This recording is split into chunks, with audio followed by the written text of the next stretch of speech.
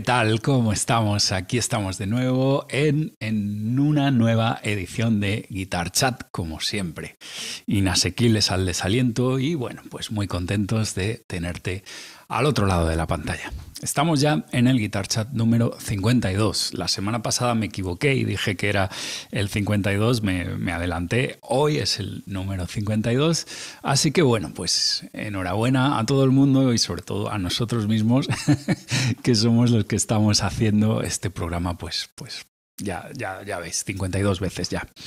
Y bueno, eh, si no estás suscrito a este canal, si no estás suscrito a nuestro YouTube, pues ahora es el momento de hacerlo. Ya sea en YouTube o ya sea en Facebook también, si nos das un like, eh, si sigues a nuestra página en Facebook, pues también eh, vas a ser parte de esta familia que, por cierto, no lo he dicho hasta ahora, Guitar Chat está patrocinado por Vegatrem, los mejores trémolos en el mercado, sin duda. Y bueno, pues esto, el eh, seguirnos en YouTube o en Facebook y también, muy importante, dejarnos un like en cada uno de nuestros vídeos y dejar algún comentario en, en alguno de nuestros live streams, te puede llevar a conseguir una de estas magníficas camisetas porque las estamos sorteando eh, pues en cada uno de nuestros programas, en cada uno de nuestros programas. Las estamos sorteando, así que bueno, eso es lo único, lo único que tienes que hacer eh, para entrar en el sorteo. Y bueno, pues voy a dar el nombre del ganador de la camiseta de la semana pasada. Su nombre es Adam Gelima.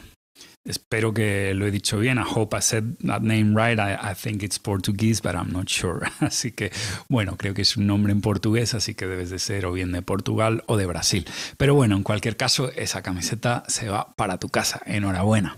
Aparte de eso, como siempre, estamos también haciendo nuestro, dejando aquí abajo en la pantalla nuestro código de descuento en cualquier momento, en cualquier momento de este programa. Por lo tanto, mantente alerta, está, estate pendiente porque en cualquier momento vamos a eh, compartir nuestro código de descuento y con ese código puedes ir a nuestra web y comprar un puente o los que quieras con un 15% de descuento. Pero atención porque ese código solamente va a estar eh, disponible las 48 horas después de eh, la emisión de este show, de este programa. Pero bueno, en 48 horas tienes tiempo suficiente para, para, hacer las compras que necesites.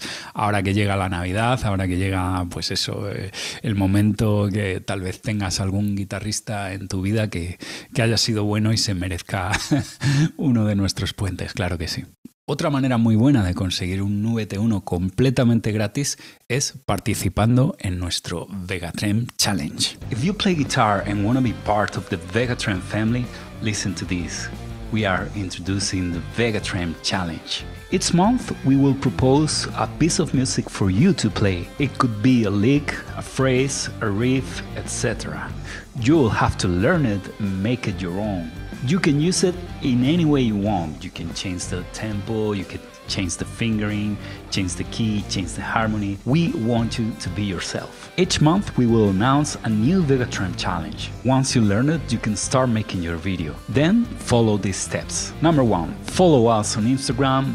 Number two, subscribe to our YouTube channel. Number three, tag us on your video. Number four, use the hashtag Vegatram Challenge. Among all the participants, we will choose the best one, and the winner will have a brand new VT1 for their guitar. The name of the winner will be revealed on the first edition of each month on our podcast Guitar Chat. Are you ready? Well, don't miss this and grab your guitar. Ahí lo tienes, esa es la manera en la que participas en el Vegatrem Challenge y este es el momento de eh, ver los participantes que hemos tenido durante este mes de noviembre. Vamos a verlos y después vamos a revelar el nombre del ganador.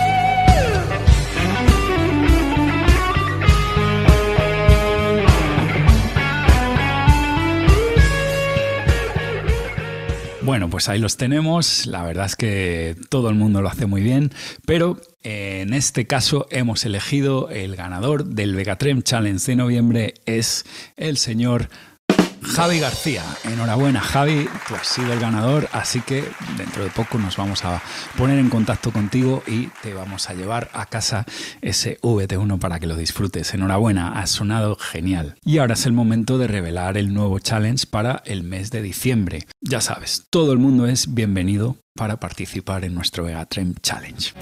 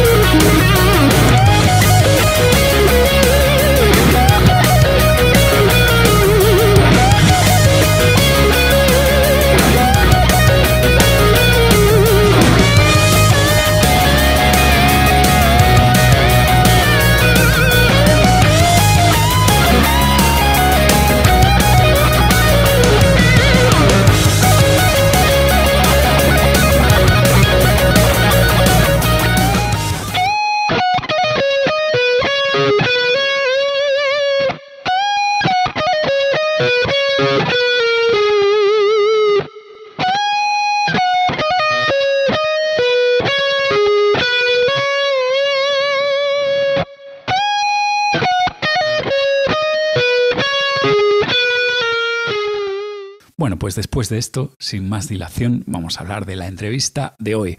Hoy todo se queda en casa. En este caso, el invitado, pues, es nuestro diseñador, nuestro fundador, CEO de Vegatrem, el señor Isaac Vega. Vamos a verlo. Esta semana en Guitar Chat tenemos al miembro fundador de nuestra familia virtual.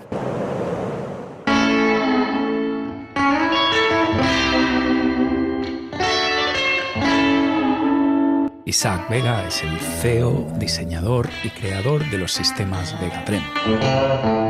Guitarrista profesional con una larga experiencia en los escenarios, su amor por el instrumento también le llevó a ahondar en sus posibilidades técnicas. Repasaremos los comienzos de la marca, así como el lanzamiento al mercado de su última creación, el VT2 o Teletrem. No te pierdas esta entrevista con Isaac Vega.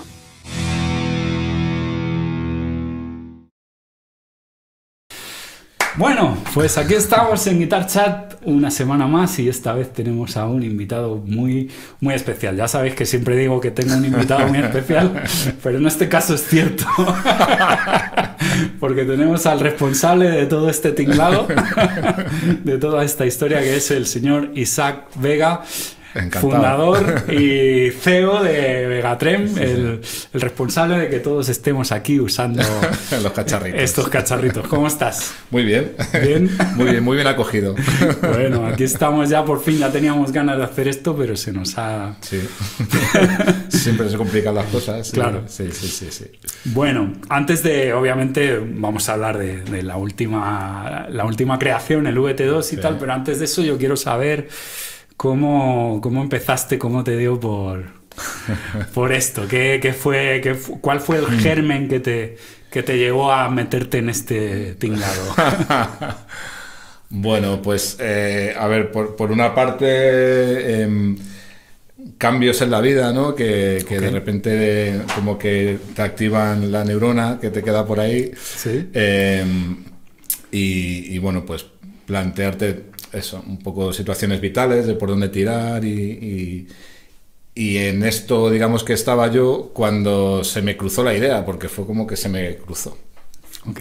Realmente no andaba yo buscando, voy a buscar un sistema de tal, no. Fue que un día estaba en casa tocando y, y no sé, pues fue como una iluminación, no sé, como Ya. de repente est- estaba tocando y, y- Una y epifanía. es ¿no? una epifanía. y si esto, ¿por qué en vez de cuando se ha buscado ¿no? el, el- el optimizar un trémolo para Stratocaster, eh, en vez de optimizar el trémolo, lo que se ha hecho ha sido reconvertir la guitarra ¿no? para, para, para acoplar el accesorio que realmente es el puente. ¿no? Entiendo. ¿Sabes? Entonces, Como que tú para mí era pensaste, hiciste el, el, el camino distinto, ¿no? Eso el es. El que para mí tenía más lógica, ¿no? Si, si tú haces un accesorio, como su propio nombre indica, Claro. el accesorio es el que tiene que, que- que situar- Adaptarse, adaptarse a, a allá donde va a ir puesto, ¿no? Y claro, el Floyd Rosito es un sistema que, joder, yo creo que todos hemos usado, lo hemos disfrutado, nos han claro. dado años gloriosos de, de metal. Claro. Sí, señor. Pero todos sabemos lo que, lo que es, ¿no? Y, y- y que evidentemente si quieres montarlo en una guitarra, tienes que adaptar la guitarra y demás. Entonces, pues, o sea, evidentemente todo esto no lo pensé en ese momento, simplemente como que, como que vi clara la opción que era más bien al contrario de lo que se había hecho, ¿no? Que, que siempre los puentes eh, flotantes habían, la tendencia era que se convertían en cosas muy aparatosas y muy grandes. Claro. Y, y lo vi claro, fue como decir, no, no, si esto tiene que ser al revés, hay que reducir las, las medidas para que entre a través de- del orificio que, que ya incorpora la guitarra, ¿no? Claro. Y esa Pero fue... esto fue así un pensamiento de en segundos, ¿no? De repente que lo ves claro y, y lo ves tan claro que dices, no, bueno, esto ya tiene que estar... Claro, esto lo habrá pensado alguien ya, tiene que existir, ¿no? Sí. Y, y, bueno, pues me tiré un par de días buscando en, en- en internet y tal, a ver si había algo parecido. Y cuando vi que no- aparentemente no, Ajá. pues entonces ya eh, me puse en contacto con un amigo, Luthier, porque yo no tenía las herramientas para, para llevar a cabo todo el proceso y tal, ¿no? Pero, Y- pero hay una cosa que antes de eso quiero, quiero, quiero saber, ¿no? Sí. Y es, eh, a- antes de llegar a ese punto ¿no? en el que tuviste esa epifanía y tal, ¿qué es lo que estabas haciendo tú con tu vida? ¿Cuántas cervezas habías tomado antes, no? Bueno, aparte de las cervezas, ¿qué habías hecho tú con tu vida? O sea, ¿eras guitarrista profesional? ¿A qué te dedicabas antes de eso? Sí, bueno, vale, sí. Depende de dónde te quieras remontar, pero bueno, Claro. sí, o sea, a ver. ah, sí, bueno, claro, yo había tenido mis bandas y todo esto, eh, chaval, como siempre, pensando que tu vida va a ser las giras y todas estas cosas, ¿no? El rock and Vas a roll. triunfar con tu banda, el rock and roll y la hostia. Y luego entré de, de forma más o menos eh, circunstancial a trabajar como técnico de backline en giras. Ok. Eh, Rodi, vaya, que, que dicen algunos por ahí, o pipas también, que es- no nos gusta que nos digan esto. Exacto. Eh, los- que lo sepáis. Nunca llaméis al técnico pipa. sí, es peyorativo, Sí. de hecho. Y, y bueno, pues me enganché en esto y estuve girando pues unos cuantos añitos, bastantes años, con grupos así, primera división, digamos, de, en España y tal. Y, y, bueno, luego por circunstancias personales me, me fui a vivir a, a Mallorca, ¿no? y, y a raíz de ahí, pues claro, cambio de vida también otra vez, porque allí ese trabajo evidentemente no existe como tal en la isla, entonces Claro. seguí haciendo giras, pero claro, ya era un poco más, eh, logísticamente era más complicado. Luego tuve un- un- a mi hijo, ¿no? Eh, eh, y ya fue como decir, no puedo andar, porque si no me voy a perder a mi hijo, y Claro. eso tenía claro que no quería hacerlo. Para la gente que no que sea de fuera de España, que sepa, Mallorca es una, Sí. una isla de- del archipiélago de las Baleares y entonces obviamente pues el, el hecho de estar en una isla es Sí. un hándicap para, Claro. para un país tan centralizado como es España, Claro. que todo sale desde Madrid, Sí, ¿verdad? Las giras y todo eso Claro, y entonces obviamente por eso tú te planteaste, digamos, un cambio de vida, ¿no? Efectivamente. De todas maneras, entiendo que tu, tu experiencia como backliner, que no pipa, supongo que te sirvió, ¿no? Para, digamos, ver Hmm. el mundo de la guitarra desde un punto de vista algo más técnico, ¿no? Porque Sí. entiendo que ahí tenías que estar, Claro. ¿no? Mm, Sí. eh, poniendo, digamos, las guitarras en, en- Claro. en el punto óptimo y tal, y entonces eso a lo mejor te ayudó a tener esa visión, ¿no? Seguramente. Un poco más analítica, ¿no? Seguramente, por eso al final, eh, yo qué sé, yo creo que todo en la vida es un bagaje, ¿no? Y vas acumulando información y esa epifanía que decía antes, pues al final la epifanía a lo mejor es un cúmulo de información que has ido ahí tú ronroneando, ¿no? Por Ajá. ahí en, en- en algún lugar de la mente y un día Sí. pues eh, te ocurre así algo aparentemente de repente, ¿no? Claro. Porque, pero que normalmente también esas cosas ocurren cuando, ya te digo, estás en un proceso vital de, de cambio, ¿no? Y, y el, y el cerebro está como alerta a todas esas informaciones, eh, pendiente de por dónde puedes, yo qué sé, ¿no? Totalmente. Me sí, parece sí. a mí, ¿no? Mm. No, no, no, sí, sí, sí, totalmente. Pero de todas maneras, claro, yo entiendo que igual llegaste a ese punto, ¿no? De, de- de, momento de que se enciende la bombilla encima de tu cabeza, ¿no? Pero de repente, eh, ¿cómo pensaste? Porque claro, eh, diste, digamos, con una solución muy ingeniosa, ¿no? Para, hmm. para hacer un puente flotante en cualquier tipo de guitarra tipo estrato, sin tener que hacer ninguna modificación, pero ¿cómo fue el proceso hasta decir, y ahora, además de eso, los voy a hacer en serie y, vamos a crear una compañía? Hombre, es que no es, que vaya eh, lo uno ligado con lo otro, ¿no? Pero casi que sí. O sea, eh, por ejemplo, con, la, con esta persona que, empezamos a desarrollar todo esto y tal, em, y, también muchos comentarios de gente de, amigos o de gente cercana a ti, ¿no? Ah. Que te comenta, ¿no? Y, y, y, sí es verdad que hay una parte de la gente que tiende a simplificar, ¿no? Las cosas y pensar que son pues eso, como un poco como las películas, ¿no? Oye, que a veces ocurre en la vida real, pero que no es tan fácil, ¿no? Y, por ejemplo, el tema de, pues ya está, tienes una patente, que es pues, una idea muy guay, está, alguien te la va a comprar, esto va a llegar mañana a Fender y te lo, y te lo compra y tal, ¿no? Entonces, primero no es tan así, evidentemente, la cosa, ¿no? Y lo segundo es que también depende de qué expectativas tienes tú. ¿Sabes? De, realmente eso es lo que yo quiero. Coger, tener una idea y venderla y ¿para qué? O sea, yo buscaba un poco algo más personal, ¿no? Que es lo que se está convirtiendo esto, ¿no? En, en, tu niño que, que joder, pues lo ha visto nacer y ahora pues le das el biberón y haces que crezca y tal, ¿no? Entonces, em, entonces bueno, pues eh, evidentemente el primer punto eh, fue desarrollar los primeros prototipos, ver que efectivamente lo que era en principio una idea eh, a, nivel, práctico eh, funciona eh, y funciona bien.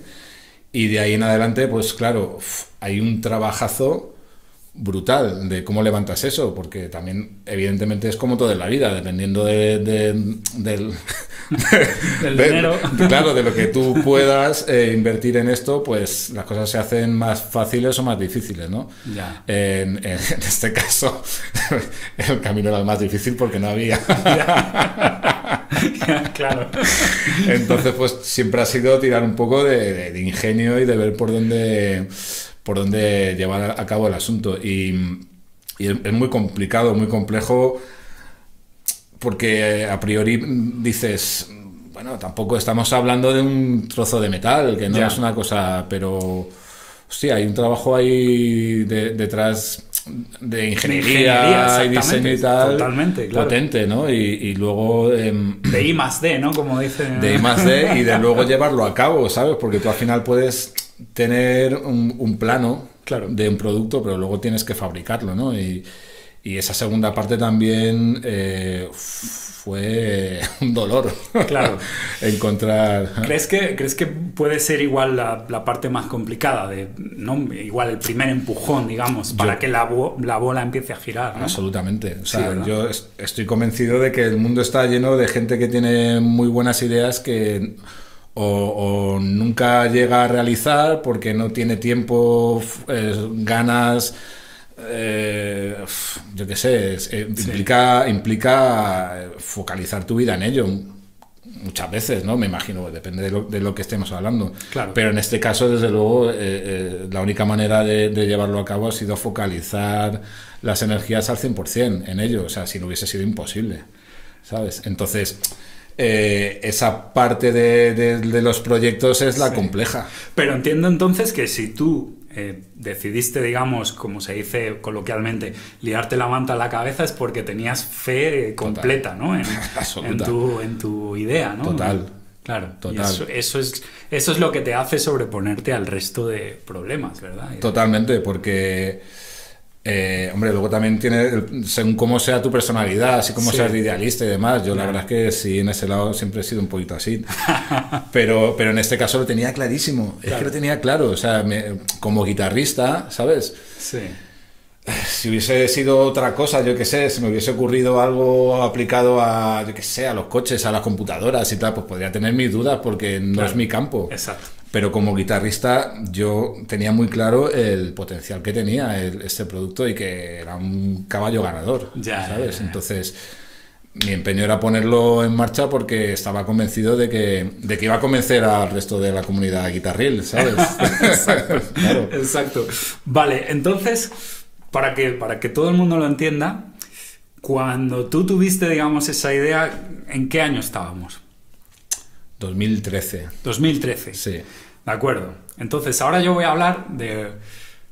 de. A ver, espera, a ver que lo diga bien. Del NAM 2020. ¿De acuerdo? Sí, NAM 2020, justamente antes de la. sí. de la bueno pues Sí, de la pandemia Sí, ¿no? sí, de todo el NAM 2020 que yo ya yo ya estaba en la familia también y de repente pues estamos nosotros ahí en el booth y de repente vemos a un tipo que se llama Arian Bilou ¿verdad? Casi nada. Espera, esto se merece un trago. Un a la- Mr. Adrian Bilou, qué, momentazo. Mr. Adrian Háblame del momentazo ese y de Mm. todo lo que pasó por tu cabeza cuando tú viste que el señor Adrian Bilou, que es el, bueno, es un, un- un monstruo, tremendo guitarrista que ha tocado con, pues, con King Crimson, con David Bowie, con, con, con Talking Heads, con toda, bueno, el currículum que tiene este hombre, de repente dice, señores, yo quiero mi Fender Signature que lleve este puente. ¿Qué, qué pasó por tu cabeza ahí? Pues uf, muchísima emoción, o sea, es que, eh, bueno, yo no, yo no sé si contaré la anécdota porque es lo que nos pasó previamente. Sí, sí, sí, cuéntalo. Porque cuéntalo, también, también, también fue curiosa la Nuestro situación. público se merece la verdad. Fue un, un poco cómico, un poco cómico, Sí. pero estuvo muy bien. Eh, claro, eh, ocurrió una cosa que es que para mí Adrián, yo Adrián Biliu, Biliu, pues eh, era un, es, bueno, es un dios, ¿no? O sea, a mí me encanta King Crimson Ajá. y, y toda la época en la que en la que Adrián era el frontman de King Crimson me alucina y, Sí. y he visto vídeos en directo y he tocado temas de ellos y los he disfrutado y tal, ¿no? Quiero decir, sé perfectamente quién es, sabía perfectamente quién era Adrián Miliu, Sí, pero curiosamente no le reconocí. Claro. Yo tampoco. Porque venía, eh, pues eso, como muy discreto el hombre, ¿no? Con, Claro. con, con una gorra, no se le veía muy bien y tal. Y luego me acuerdo que además la tocata que hizo, que yo escuchaba un poco, porque también me acuerdo que estaba en esta, estábamos en mil cosas y tal, Sí, ¿no? sí, sí, sí. Y, y no me sonaba, o sea, evident- en ese momento no lo pensé, ¿no? Pero que Claro. luego pensándolo, eso que él estaba tocando no era muy Adrián Biliu, ¿no? Lo que, digamos, yo tenía en la cabeza, ¿no? Claro. Con lo cual, no le reconocimos. Ajá. Y, y fue después cuando, cuando nos dimos cuenta de, de- de quién era, que además fuiste tú, que me Exacto. Tío, que es Adrián Biliu. y ahí fue como tormenta de nervios, ¿no? Claro, claro. ¿Qué? ¿Qué? Y ya ahí muy pendiente de él y tal, y ¿no? Sí. Y, y cuando efectivamente ese señor se levanta, viene y te da la enhorabuena y te dice, quiero que este sea el sistema que, que, que Fender monte en mi signature. Claro. Pues, ¿Qué te voy a contar? O sea, es que es un momento de, de- de ciencia ficción. Exacto, exacto. O sea, increíble, ¿no? Y, y bueno, y de hecho cuando ya pasó, se despidió, tal, no sé qué, que nos dijo, ah, bueno, mañana, mañana va a venir eh, Ron Thorne, Ron que Thorne, es exacto. el master builder de, de Fender, la custom shop de Fender, que es el que va a realizar el modelo y tal. Y que estaba como, sí, sí, sí, sí, ¿qué me está contando? Y, y claro, cuando se fue, ¿no? Y ya me senté eh, y, y me di cuenta de lo que había pasado. Bueno, me tuve que ir al baño, ¿sabes? Claro. Eh, puse a llorar ahí. claro, porque es, que fue como, ah, como el premio a mogollón de años. Claro, de- tú sentiste, yo entiendo que tú sentiste eso como, digamos, un punto de culminación, ¿no? De, Sí, de todo el es- proceso ese, toda la pelea, ¿verdad? Sí, De- independientemente de lo que luego eh, sucediese o vaya a suceder o tal, a nivel comercial, lo que tú quieras, ¿vale? Pero a nivel Claro. personal, para mí fue probablemente el mejor momento, ¿sabes? Claro, Sí, exacto, sí. pa- para mí también lo fue, ¿eh? para mí fue también un, una flipada. Obviamente yo no tengo, digamos, el, todo el recorrido, ¿no? Pero, pero sí fue algo muy, muy interesante y, y creo que, aunque fuera simplemente de manera simbólica, fue, digamos, creo yo, el digamos, el, el, momento de consolidación, ¿no? De Vegatren dentro del mercado, ¿no? De, de bueno, de, ahí estamos. Eh, sí, claro, que alguien Como dice el gran Robiniesta, ¿no? Una estrellita pequeñita pero firme, ¿no? claro. Sí, sí, sí, no, no, está, totalmente, totalmente. tener ahí, digamos, eh, nuestro, nuestro lugar, ¿no? En el, en el mundo. Y entonces, pues, después de, o sea, cuando tienes a alguien como Adrian Bilou, ¿no? Con, con ese bagaje y esa, que es una leyenda viva, dándote la, digamos, su bendición, pues ya... ya... o sea, te estaba poniendo la etiqueta de homologado. Exacto. claro, y, ahora que ves eh, los vídeos, ¿no? el otro día comentábamos los vídeos de la gira esta que está haciendo de, de Talking Head y tal, ¿no? Ajá, sí. Y claro, le ves que está con, con su signature, ¿no? Y, y haciendo esas animaladas que nos tiene acostumbrado, ¿no? Con, con, con, tu, con tu trémolo, ¿sabes? Es como... Con tu creación, eso es. ¿Sabes? Si le pasas a, tus colegas por WhatsApp, mira, mira. Claro, claro, eso es. Bueno, pero ya no solamente él, porque ya sea, la familia va creciendo. Sí, claro, sí, sí. Ahora, por ejemplo, tenemos a Greg Howe también, que, le tuvimos en el Guitar Chat pasado. Y bueno, pues otro, otra leyenda. Vamos, yo, crecí escuchando a Greg Howe y, claro, claro. a mí me, me, me, me alucina, ¿no? Sí, sí, sí. Y también, pues es un, es un tipo que ha decidido tener eh, en su guitarra Signature también, la Kissel Lira, pues también el, el VT1. Totalmente, o sea, claro, es evidentemente que es un todos son hitos que son brutales, ¿no? Igual que lo de Joe Perry, ¿no? Y, gente así. Pero claro, ese momento, ¿no? Eh, eh, esa circunstancia en ese NAM del 2020. Claro. Fue eh, especial porque fue como la primera vez. Eso es. Entre comillas, ¿no? O sea, evidentemente ya habíamos ido a ver a, eh, nos había invitado Duisil Zapa a, conocerle personalmente, ah, ¿no? Cierto, a eh, París. Claro, fuimos a París a, que probó allí, nos invitó súper, vamos, que es un 10 este tío, ¿sabes? en el escenario, tocando, tenía un sonidazo allí que decías, madre mía, cómo sonaba. y claro, fue un momento también espectacular, ¿sabes? Pero lo de esto, lo de, lo de Adrian fue especial porque fue lo inesperado también, ¿no? De que, de que viniese él. Y además todo lo que la previa hasta que, hemos hablado, ¿no? De, no conocerle en un primer momento y fue casi como más cuando, cuando ocurrió fue como más brutal, ¿no? El momento de, de, la, darte, el darte cuenta, ¿no? fue, fue, muy especial. Pero sí, claro, evidentemente todo lo que va sucediendo es, es muy especial, ¿no? Pero llega, llega un punto en el que ya cada vez esperas cosas más grandes, ¿no? Porque como ya te van pasando cosas tan alucinantes, ¿no? Es, como que será lo próximo, ¿no? Lo vas dando por hecho un poco, tal vez, ¿no? sí, a lo mejor, bueno, eh, sí, a lo mejor no es... no hay que acostumbrarse a esas cosas, ¿no? Porque no... Pero, pero bueno, sí, al final vamos cargadísimos de ilusión, ¿no? Yo creo que todos los que estamos en el, en, el mundo Vega Dream yo creo que no hay ni una sola persona que esté con nosotros que no tenga esta ilusión, que no compartamos esto, ¿no? Y de hecho estamos siempre ahí on fire, ¿no? Con todas las cosas que nos pasan. Totalmente. Y, y, bueno, sí, no hay que perder de vista, ¿no? Esto, pero, pero todo lo que nos pasa es alucinante. Totalmente. Sí, señor.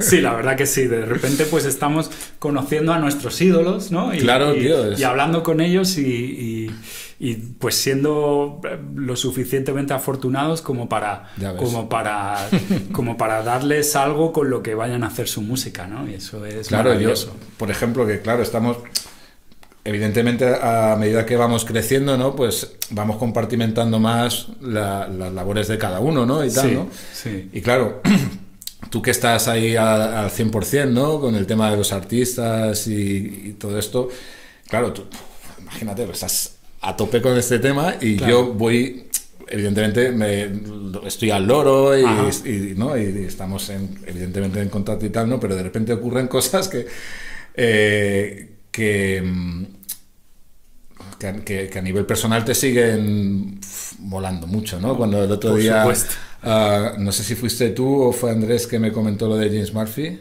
James Murphy, sí, sí, sí. que fue como, yo no sé, espera, ¿cómo James Murphy? Pero James Murphy, eh, ¿sabes? Claro, Sí. de repente eh, son figuras que han hecho cosas muy grandes en- para ti, ¿no? Que en tu vida han sido, ¿no? Por ejemplo, y, y yo enseguida dije eh, que me perdone si a lo mejor él no es lo que más el, mm, orgulloso está de su carrera, ¿no? No lo sé, ¿no? Pero, pero a mí me flipa el Cause of Death, el discazo que grabó con Obituary, ¿sabes? O Claro. sea, ese disco me lo he, vamos, Claro, te lo has eh, comido. me lo he comido, pero vamos, y lo sigo escuchando y me sigue flipando. Y, y las guitarras que grabó este hombre, o sea, son alucinantes. Siempre me lo han parecido y me lo siguen pareciendo. Claro, pues- Y claro, de repente aparece ahí, ¿no? Que hemos contactado con. ¿Cómo? ¿Qué? ¿Sabes? Y esas cosas me siguen flipando, ¿sabes? Me siguen emocionando. Sí, señor, sí, señor. Claro, es que obviamente pues estamos ahí, pues eso, eh, digamos, ofreciéndoles un, un- una manera distinta, ¿no? Para hacer, para hacer su música y si Sí, ellos, sí, si sí. ellos nos dan el aprobado, digamos, pues Claro, además que, joder, llevan toda la vida tocando con otros sistemas que, que al final, oye, yo qué sé, uno, pues eso, crecer habituado a unas cosas Claro. y, y no todo el mundo está dispuesto a, a lo mejor a experimentar y cambiar, ¿no? que sepa aquí todo el mundo que aquí somos fans de Floyd Rose también, que lo sepa todo No, el no, mundo. evidentemente. Por o sea, supuestísimo, y nos encanta. Y de Bixby. Y de Bixby, de todo, por supuesto. o sea, evidentemente, no, no, aquí no hay tonterías estas. ¿no? Claro que No. sí, claro que sí. Claro, eh, somos, somos pues Somos guitarristas, nos Exacto, gusta y nos gusta todo. Y, y, pues nosotros hemos puesto nues- nuestra versión, ¿no? Pero Exacto, exacto. está, evidentemente. O sea, todos son clásicos. Sí, Todos señor. son clásicos. Sí, señor. Y después de todo esto, de, de- de- de toda esta vorágine, digamos, ¿no? De repente ahora llega esto. Sí. Bueno, de repente. De repente, cuéntame. Bueno, bueno, de repente. exacto. Cuéntame el proceso también ahora, de, después de el éxito del VT1, de repente ahora eh, hay que, obviamente, hay que avanzar, hay que tirar para adelante y se te ocurre el VT2, pero yo no sé si era una idea que, no sé si es anterior al VT1 o... Por eso te digo que lo de repente. Cuéntame, cuéntame ese proceso. Claro, también. no, es, es- la idea es posterior al VT1, pero es muy cercana a- al...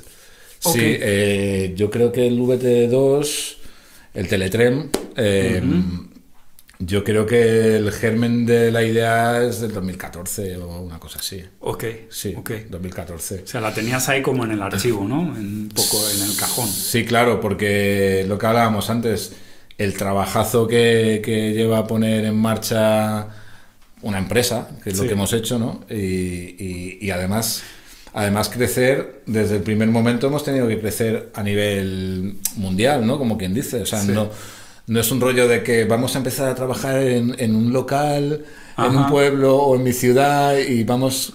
A medida que crezca la clientela nos vamos expandiendo y tal, ¿no? Nuestro modelo de negocio no era ese, desde el principio era, es un producto universal, como quien dice, ¿no? Y, Claro. y- y, de hecho, la única manera que, que tenemos de, hemos tenido para realizarlo y llevarlo adelante es haciéndolo internacional, o sea, interna- internacionalizándolo es. desde el minuto uno. Claro. No había otra manera de que, de que triunfase, ni siquiera aunque hubiésemos tenido la posibilidad de crecer primero en España, lo hubiésemos logrado, porque en España no existe el mercado Claro, el mercado español.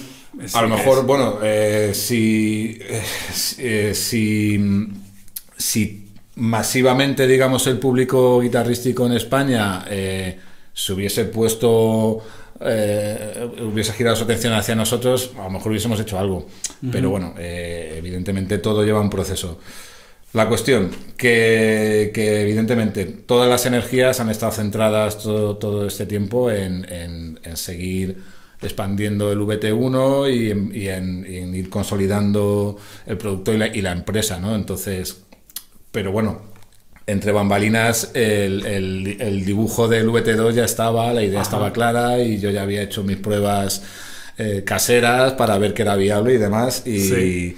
y a partir de a partir del no sé decirte exactamente yo creo que a partir del 19 o así ya nos pusimos en, el laboratorio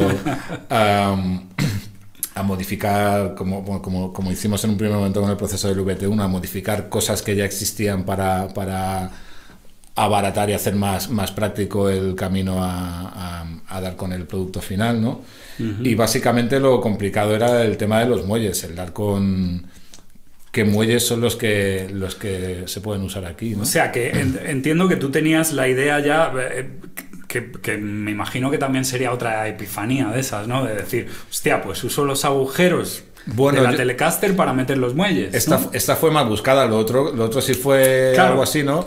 Y esto fue, ya sí fue como decir, bueno, ahora ya tenemos esto, ¿sabes? Eh, ya, ya, ya hay un escaparate, hay una base y, una razón de por qué seguir dándole vueltas al coco, ¿no? Y, evidentemente lo, lógicamente, eh, pues eso, como que el el, objetivo prioritario, ¿no? El santo grial de las guitarras mm, eléctricas eh, de cuerpo sólido es la Telecaster, ¿no? El modelo icónico. Eh, que, que, bueno, fue lanzada al mercado con un diseño que no incluía un, trémolo, ¿no? O sea, es una guitarra tradicionalmente de punte fijo. Y es como que me parecía que nadie había prestado la suficientemente atención a, la posibilidad de ponerle un trémolo realmente específico para, esa guitarra, ¿no? Siempre las opciones que había eran muy, muy invasivas, ¿no? Claro, eran, eran opciones de, destrozar completamente una Telecaster, obviamente. Sí, completa o parcialmente, ¿no? En, el, mejor de los casos, a lo mejor eh, que podía ser un, Bixby, ¿no? Que es un puente que a mí me, a mí me encantan los Bixby, me flipan, me flipan. sin duda. Eh, pero bueno, claro, en, una Telecaster, bueno, ya sabemos todos cómo, cómo va eh, incorporado a la Telecaster, ¿no? Que al final también tienes que hacer unos agujeros en el frontal de la guitarra que quedan vistos cuando desmantelas el puente. Luego, hombre, el hecho de que el puente también esté eh, posicionado fuera del cerco original del, cenicero, ¿no? Eh, claro, el ashtray típico, ¿no? Claro, hace que es igual que si desmantelas el Bixby, pues evidentemente la pintura no tiene el mismo color en esas zonas que en las otras. O sea, en cualquier caso, Sí. Siempre han, vas a dejar una cicatriz a la Vas a dejar una cicatriz, claro.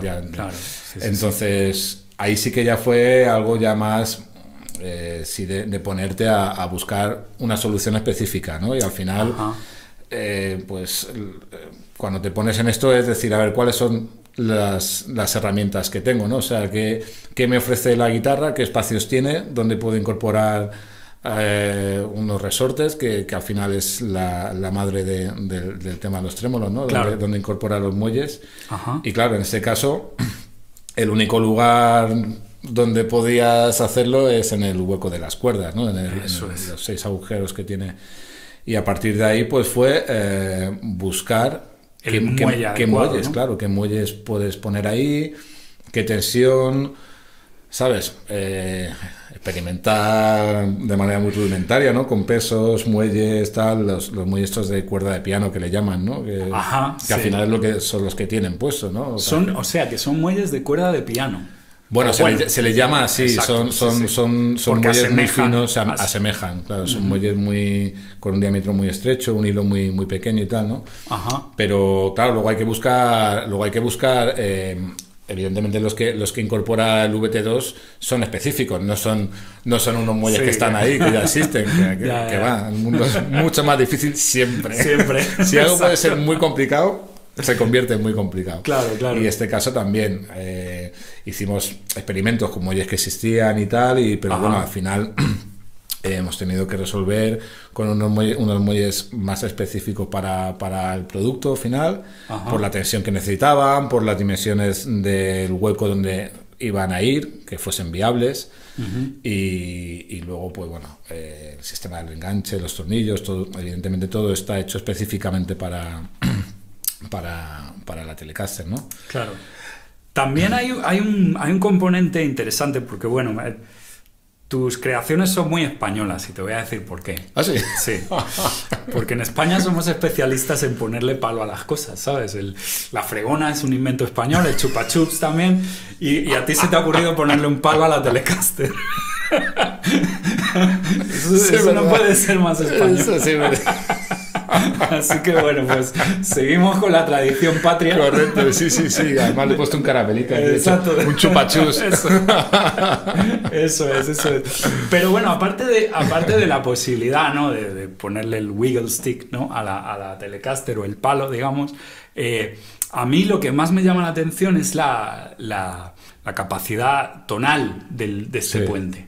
Porque sí que es cierto que, por, por, el material o por el diseño o por lo que sea, de repente esta guitarra eh, de repente eh, tiene muchísimo más volumen y más resonancia con este puente. Dime si has tenido eso en cuenta también a la hora del diseño o no, o ha sido un, accidente. Bueno, un accidente, sí, bueno, eh, a ver, eh, accidente relativo, o sea, no es que se, no es que se haya ido buscando el, eh, el tono, ¿no? O sea, lo que, sí se ha, lo que sí se ha buscado y siempre, siempre hemos tenido en cuenta los diseños es el no perder el tono. Eso, está claro, en ningún caso perder ni tono, ni sustain, ni nada, ¿no?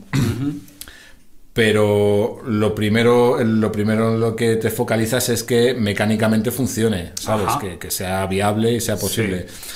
Que no pierda tono y luego, además, si encima, gracias a las especificaciones que tienes que hacer para que mecánicamente sea viable, añaden tono, pues mejor. Y en este caso, claro, estás añadiendo unos elementos eh, resonadores que son los muelles. Claro. Que todos sabemos las cualidades de los muelles, ¿no? Y una de ellos es, la resonancia, ¿no? Exacto. Yo creo que intervienen un poco en esto, en, el, en el VT2. O sea, ¿tú crees que los muelles influyen en el sonido al final, ¿no? Yo creo que de alguna manera, claro, hay seis muelles ahí metidos. Claro. ¿no? De alguna manera tienen que... Que están vibrando con las cuerdas. Claro, lógicamente de alguna manera yo creo que tiene alguna implicación en el tono, ¿no? Luego la, la pletina y el fulcro, ¿no? O sea, todo lo que es estas dos piezas eh, que van montadas en el cuerpo, claro, eh, son 4 milímetros de, lámina de, acero 316, o sea, de acero marino, ¿no?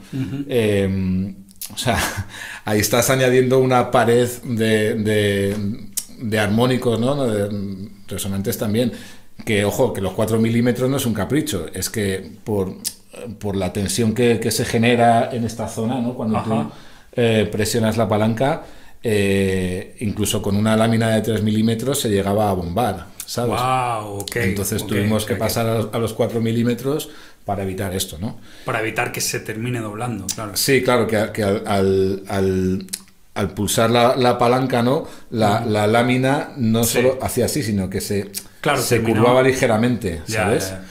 Y bueno, evidentemente eh, eso se corrigió con un milímetro más de grosor y yo creo que al final todo, todas esas circunstancias que se hicieron para hacerlo viable mecánicamente, pues probablemente hayan añadido eso, ese tema tonal que, decías, ¿no? Que, me comentabas tú además que habías notado mucho, ¿no? En, pero, pero tremendo.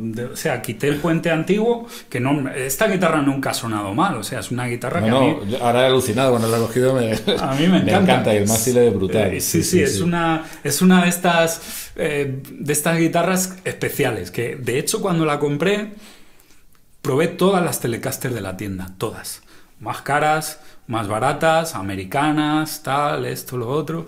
Esta es japonesa de los años 90 y terminé llevándome esta. No me extraña, sí, sí. Pero fíjate que, que, al poner este puente, de repente el volumen sin enchufar de la guitarra ya muchísimo más volumen y, vamos, o sea, se nota, tiene un carácter, y aunque no vayas a tocar la palanca para nada, que obviamente yo sí lo voy a hacer, tiene un carácter, tiene un carácter tonal muy, muy importante. Y eso, bueno, pues es la verdad que yo creo que es debido también a los, a los materiales. Y luego también una cosa importante que es para los, los puristas de la Telecaster, que ya sabemos que, que os gustan las cosas, sois, sois conservadores, todos, eh, pues también las, las, las, las selletas, las selletas de, latón, claro, para mantener, digamos, ese tono, ¿no?